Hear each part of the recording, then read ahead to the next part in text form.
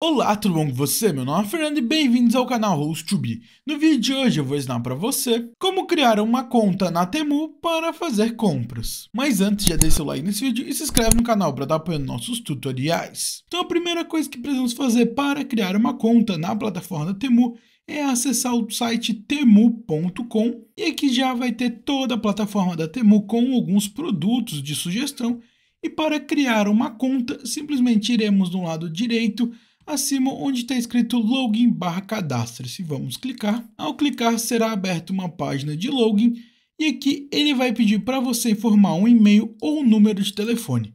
Se já existe uma conta, ele vai pedir a senha, ou senão ele vai dar procedimento para você criar sua conta. Se você quiser, você pode usar outras plataformas, como o e-mail do Google, Facebook ou Apple. Mas vamos então aqui no campo de e-mail ou número de telefone e vamos colocar o nosso e-mail de cadastro.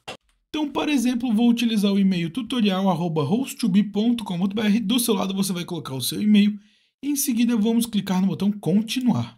E agora ele vai pedir para você informar uma senha de cadastro. Após você informar a senha que deseja para o cadastro, ele vai falar a qualidade da senha e depois basta clicar no botão cadastre-se. Prontinho, com isso você já conseguiu criar a conta corretamente aqui na plataforma da Temu. Então agora você já pode começar a realizar suas compras. Então, você quiser ver mais detalhes da sua compra, no mesmo botão de login cadastro agora vai ter o seu nome. Se você clicar em cima, vai abrir a sua conta. Por padrão, vai abrir no método de seus pedidos. E que você pode acessar todas as configurações. Você pode ver as suas avaliações, pode ver o seu perfil, pode acessar cupons de oferta, saldo em crédito, história de navegação, endereços. Então você pode cadastrar o seu endereço de entrega pode cadastrar os métodos de pagamento. Então aqui você consegue cadastrar o cartão de crédito ou débito para você fazer suas compras. Então, a partir desse painel você consegue fazer as configurações ou você já pode acessar a página inicial em qualquer produto e aqui nos produtos você já pode adicionar o carrinho e também pode fazer uma compra. E com isso, então, agora você já conseguiu criar uma conta corretamente aqui na plataforma da Temu.